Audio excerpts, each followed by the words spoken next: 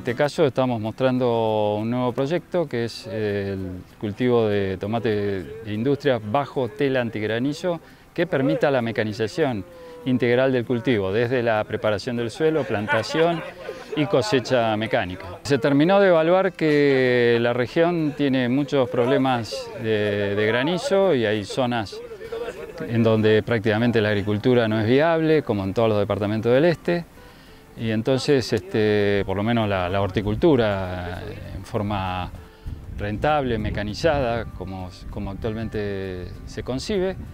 Y bueno, estamos empezando a hacer estudios de la tela en su efecto sobre el cultivo.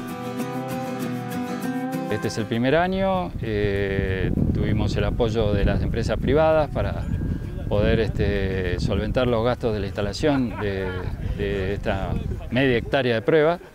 Así que estamos bastante optimistas y contentos por los resultados y la factibilidad de la mecanización. Hemos observado que la tela antigranizo tiene una disminución del 50% de la velocidad del viento.